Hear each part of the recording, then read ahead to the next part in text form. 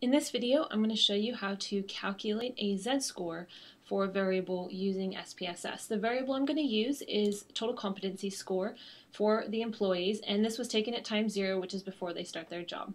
So if we go to Analyze, Descriptive Statistics, and then Descriptives, we want to find our competency score, which is the first one here on the list.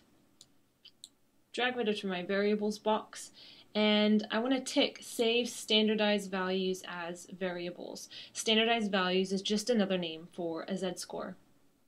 Go ahead and click OK. In the output, you're going to see a summary box of descriptive statistics for the variable with just the min, max, mean, and standard deviation.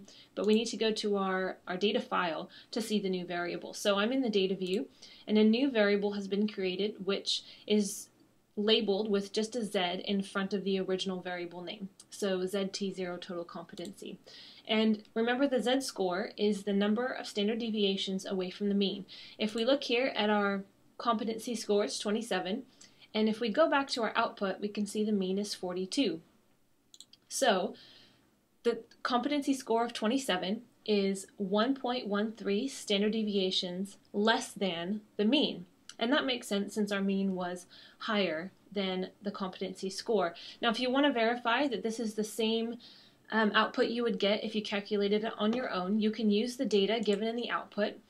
Um, however, don't use these rounded values. If you use the rounded values, you're going to get a slightly different answer. If you want to get uh, a precise answer that is um, close to five or six decimal places to the one SPSS gives, you need to double click into this box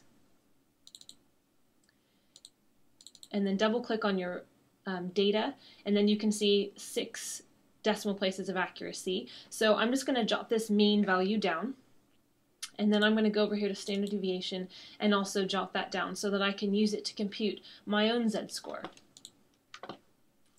If we go to transform and compute, I'm going to call this z-score STDEV. So I'm calculating a z-score using a standard deviation.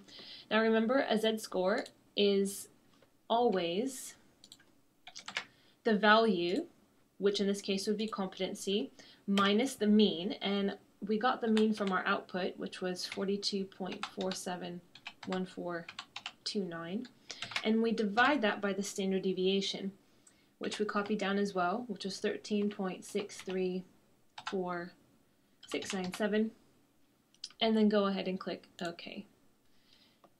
Go back to my data file. I've got my new variable here. I'm going to increase the decimal places to 5 so that I can compare it to my original one. And we can see it's really close. It's to 4 decimal places. Um, if I wanted to get it more accurate, I'd probably need to calculate the mean and standard deviation um, to more than 6 decimal places to get uh, a more precise answer, but it's pretty close. Okay, that's it.